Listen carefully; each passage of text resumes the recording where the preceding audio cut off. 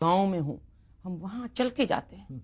और ये मेरी ज़िंदगी का एक यानी सिलसिला रहा सिलसिला है ये तो हर वक्त मुझे सीखने कहीं अच्छी धुन सुन लूँ तो उसको हम रिकॉर्ड कर लेते हैं। हाँ, हाँ।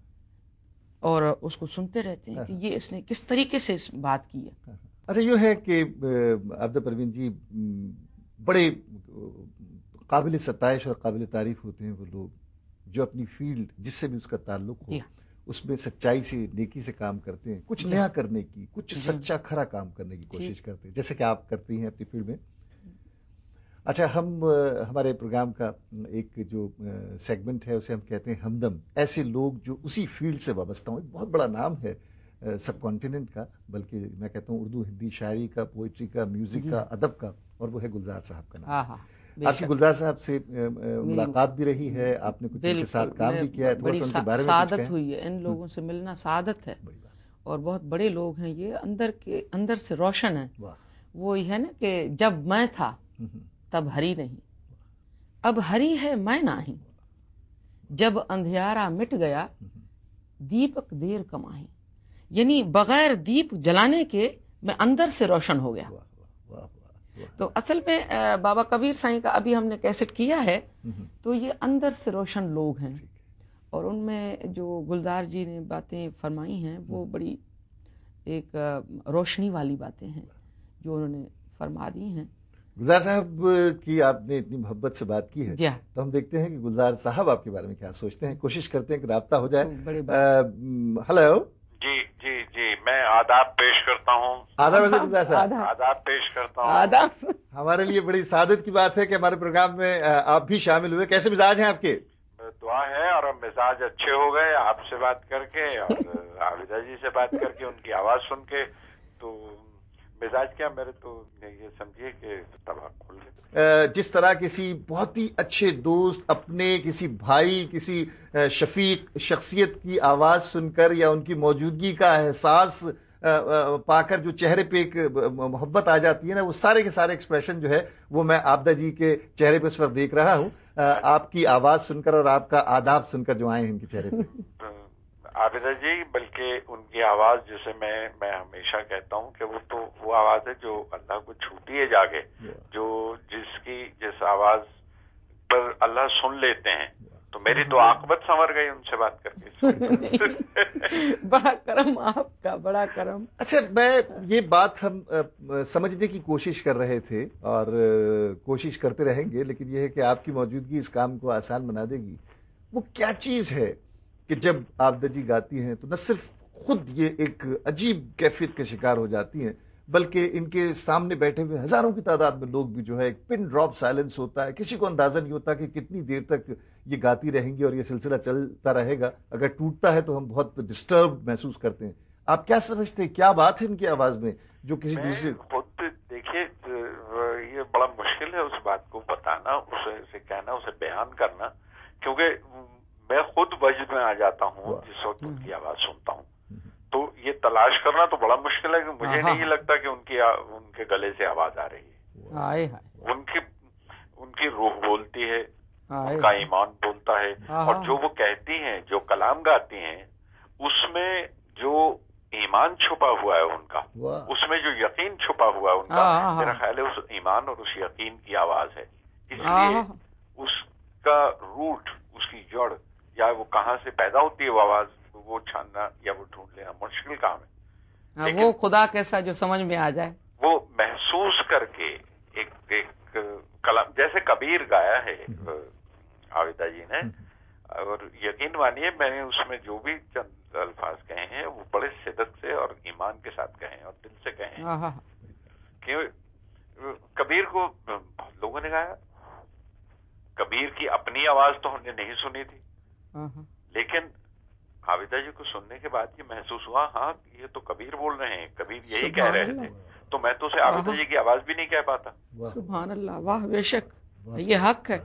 तो आवाज़ है ही नहीं ये जो जिस ईमान से वो गाती हैं और जिस शिदत से और जिस यकीन के साथ वो गाती हैं वो बात सच हो जाती है। मेरा ख्याल ये वही। सच्चाई की और सदाकत की आवाज़ है। एज ए पर्सन जो एज एन आर्टिस्ट तो आपने इनके बारे में बात की है फनकारा तो लाजवाब हैं बाकमाल हैं और आपने बहुत दिल से बात की है। आपको कैसा लगता है? क्या रिश्ता नज़र आता है आपको इनको देख के इनसे मिल के? कैसा जज्बा इनके लिए दिल में उभरता है? सबसे अच्छी बात तो ये है कि एक वो जिस तरह से वो मुस्कुराती हैं ना मुस्कुरा के मिलती हैं उसमें ये नहीं लगता कि ये कोई बहुत दूर है। वो अपना लेते हैं वो जो अपनाइत है उनके अंदर हम्म। वो बात बहुत खूबसूरत है। वाह। मैं तो मतलब इस तरह की शख्सियत को छूना तो बड़ा मुश्किल लगता है तो मैंने तो छुआ। बड़ी बात बड़ी बात बड़ी बात। अच्छा एक बात गुलजार साहब आपसे हम करना चाहेंगे। मैं आपदा जी से भी सवाल कर रहा था कि वो चाहे आप हो खान साहब नुसरत अली खान साहब हो आपदा जी हों ये लोग जो सूफियाना कलाम जो है इसको किसी न किसी तरीके से आगे बढ़ाने की नई जनरेशन तक इसे पहुँचाने की बड़ी कामयाब कोशिश कर रहे हैं। तो ये जो सिलसिला है आपको ये मजीद फलता फूलता नज़र आता है ये सिलसिला इसी तरीके से आगे चलेगा या आपको ऐसा लगता है कि मजीद इसमें कोशिश होनी चाहिए है? सबसे अच्छी बात ये लगती है कि वो खत्ते जो मुल्तान हमें लगता था कि बहुत दूर है ये छूट गया है वो सियासी जियोग्राफी में कहीं भी चले गए हों वो आज हमें अपने आँगन में नज़र आता है। वो अपने सहन में बिछा हुआ मुल्तान नज़र आता है वो जबान नज़र आती है। हम ये जो ये जो सरहदें कुछ आ गई थी बीच में जो सियासी होंगी होंगी।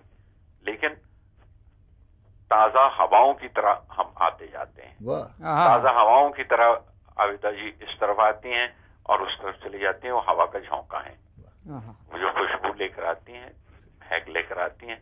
तो इसने तो अमन और शांति की जो बात पैदा कर दी है और ये sharing of arts sharing of creativity ये जो फन को आपस में बांट लेने की इब्तदा हुई है मेरा ख्याल है ये बहुत दूर तक जाएगी। ये ये रुक नहीं पा सकती अच्छा कुछ बरह रास्त अगर आप बात करना चाहें तो बात जी आबिदा जी से मैं सुन रहा हूँ आवाज़ उनकी और इतना ही कह सकता हूँ कि मैं इंतज़ार में हूँ क्योंकि इसके बाद मैंने कबीर में मैं मशहूर हूँ कि उन्होंने मुझे शामिल कर लिया साथ में।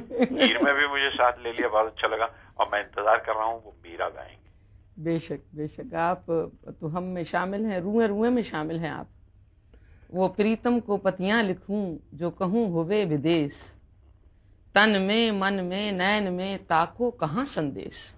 वाह वाह बहुत वाह वाह। मैं तो आपकी आवाज़ से सुन के मुझे लगता है कि मैं मीरा को सुन लूँगा। जो जो मैं इतना जानती प्रीत किए दुख हो नगर ढंडोरा पीटती प्रीत प्रीत न करियो बिल्ला साहब आपने हमारे इस इंटरव्यू को यादगार बना दिया। इसमें शामिल होकर हम आपको बहुत बहुत शुक्रिया बड़ी बरकत बड़ी बड़ी बाजिश बहुत बहुत शुक्रिया कि बड़ी करम नवाज़ किया और मुलाकात करवा दिया बड़ी करम नवाज़ ये वो जज्बा है। ये वो रिश्ता है ये वो ताल्लुक है जिसे सरहदें रोक सकती नहीं है।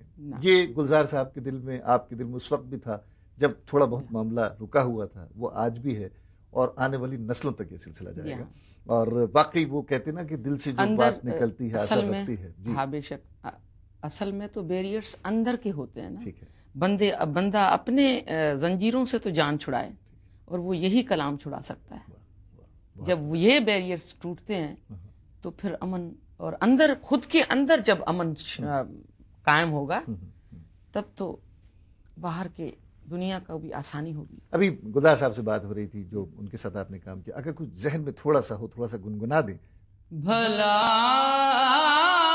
हुआ मेरी मट की फूट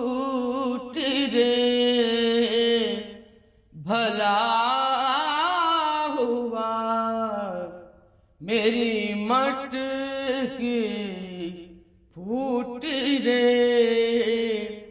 मैं तो पनिया भर से छूटे रे। भला हुआ मेरी मट की फूट रे। भला हुआ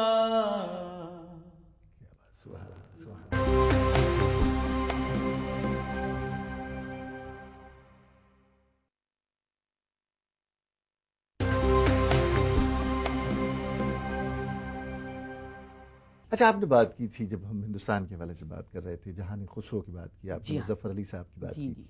आपका इनसे एक ताल्लुक है आप इनके साथ काम कर चुकी हैं।